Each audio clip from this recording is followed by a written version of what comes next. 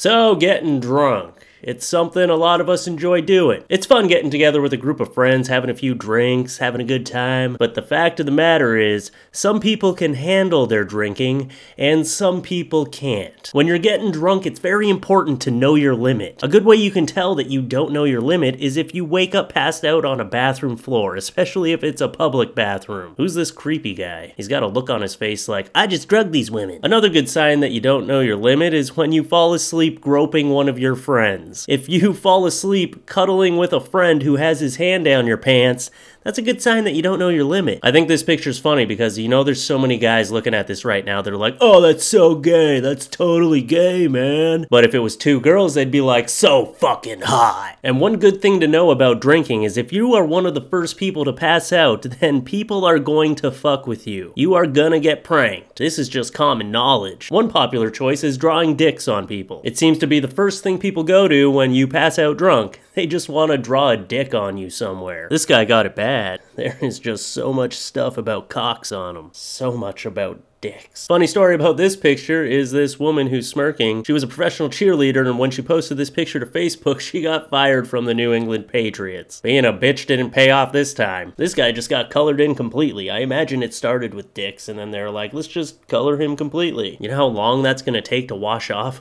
Holy shit. I'm Dave's gay lover. Oh, look at the little swastikas on his face. That's nice. Dick with an arrow pointing to his belly button. Oh, and then there's an I heart cock on his arm with another swastika. Please put cock here. That is just way too much to read. But again, there's a dick on there with peace sign balls. I'm disappointed in the unoriginality of people. You gotta be more original. At least these people got some hot dog buns and some marshmallows involved. See, that's what I'm talking about. They drew him a little tuxedo and put a cat face on him. I like the creativity of this one. They actually turned their friend into a pirate princess pickle bunny. Whatever the fuck that is, still there's a dick on him, but at least they tried a little harder. Another popular passing out prank is just duct taping people to things. This guy got duct taped into fetal position. Actually, that's just smart because you know if you roll over and puke straight up, there's a chance you're gonna drown in your own puke and die. At least this way, he's duct taped on his side and he will only be able to puke on his side. I think they were looking out for him. Just like this guy, they duct taped him on his side. At least they know he's not gonna die. Now, I don't know how the fuck they duct taped this guy to a roof, but You'd have to be really fucking passed out to get duct taped to a ceiling. That's just a lot of skill. You had to hold him up there and duct tape him to it, and the whole time he's just passed out. That's actually very impressive. But if you're not feeling creative and you're feeling a little lazy, then there's always the good old tampon in the mouth or nose. And passing out in the comfort of your asshole friends is one thing, but some people, they get so drunk that they just fall asleep wherever the fuck they are. She almost made it home.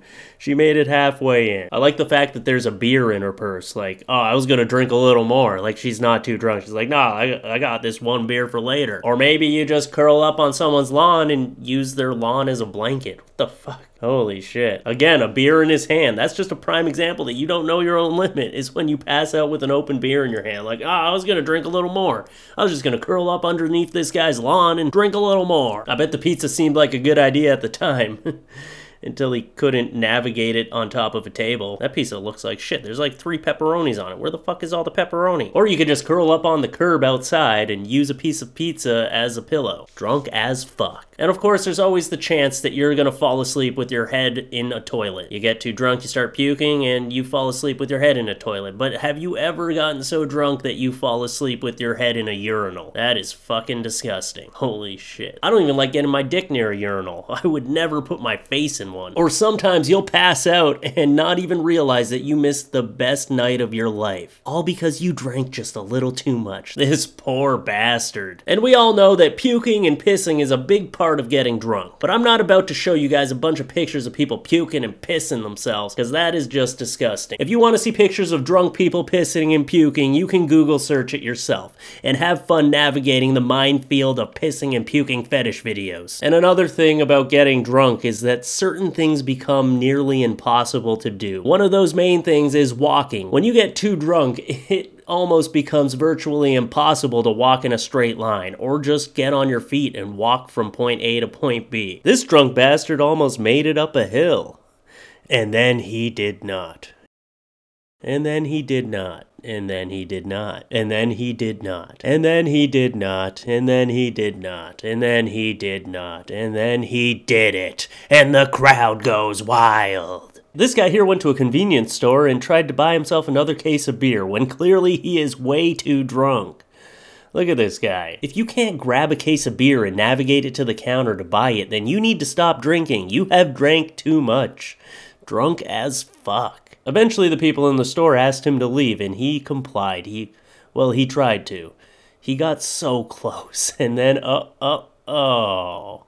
He almost made it to the door. Good thing he grabbed that bowl for support. Drunk as fuck. You could also get so drunk that you end up like this guy in a store thinking that your reflection is just an asshole trying not to let you pass. This goes on for quite some time. Uh, he just can't figure it out. And he's like the nicest guy ever. Because I would be pissed. I'd be like, get the fuck out of my way. He's just like, okay, okay, okay. Okay. Stop filming this poor bastard and fucking help him for fuck's sake. When you get drunk, there's also the chance you're gonna sleep with someone and it might seem like a good idea at the time. But then when you wake up the next morning, all you can think is, how the fuck do I get out of here? Which brings me to the walk of shame. Now you can spot a girl doing the walk of shame if you look for these few signs. Bare feet, a tight club dress, messy hair, high heels in their hands. Oh yes, and then there's the look on their face of regret and disappointment in themselves. Or maybe it's just a condom wrapper in their hair. Also, people like to get drunk and then start texting. You're the sweetest candy thing in all the universe.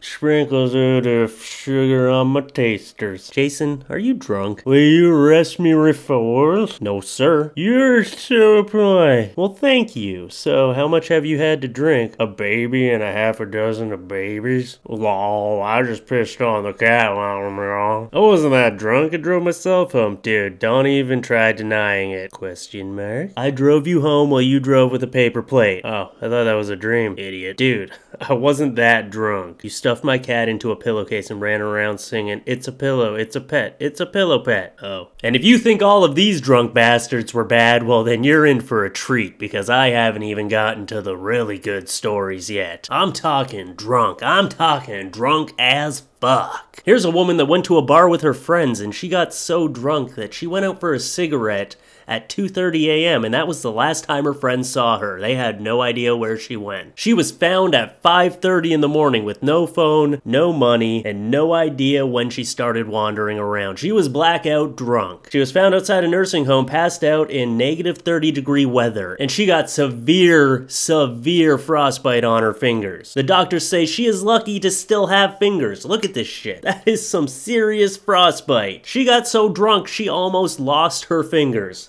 Look at that shit.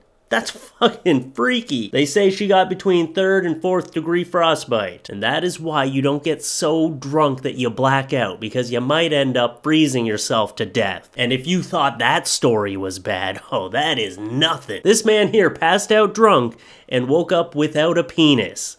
That's right. He passed out drunk, woke up, and he had no dick. This 45 year old says he has no clue where his penis went, but neighbors say they saw him being attacked by a dog. So pretty much a dog bit his dick off. Have you ever been so drunk that a dog bites your dick off? Well, this guy has. Now, if there's anything you can learn from this video, it's that you need to drink responsibly. You need to know your limit, or a dog might bite your dick off.